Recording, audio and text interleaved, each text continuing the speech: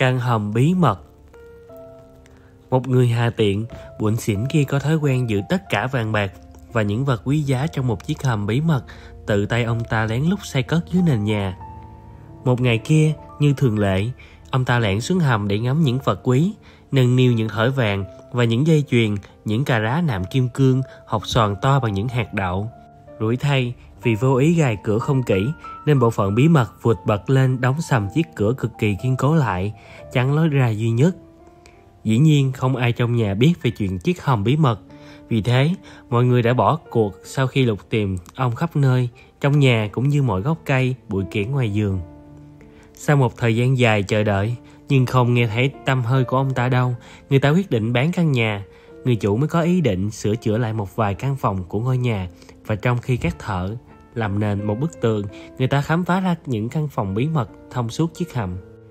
Khi những ngọn nến được thắp lên, người ta không khỏi sợ hãi khi thấy bộ xương của người đang ngồi bên cạnh chiếc bàn con với một số vàng bạc.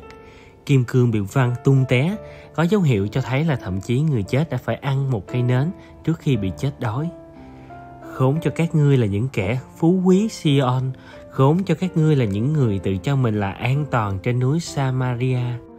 lời chúc giữ những người giàu có, bất nhân và kiêu căng trên của tiên tri Amos, cũng như những lời Chúa Giêsu chúc giữ những kẻ giàu trong tin mừng, không phải là những lời lên án tiền bạc và của cải cách chung.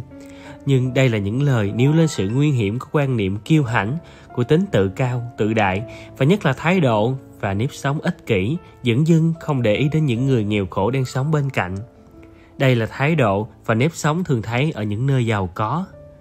Mahatma Gandhi, người đã đưa dân tộc Ấn Độ đến nền độc lập khỏi ách thống trị của Anh quốc đã tuyên bố một tư tưởng cách mạng có thể đổi mới xã hội.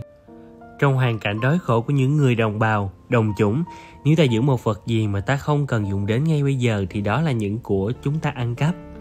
Sống trong hoàn cảnh kinh tế khó khăn hiện nay, tinh thần liên đới và sự sẵn sàng chia sẻ cơm áo cho những người cần đến là những hồn đuốc sáng, là những đức tính của người Kitô chúng ta cần phải có.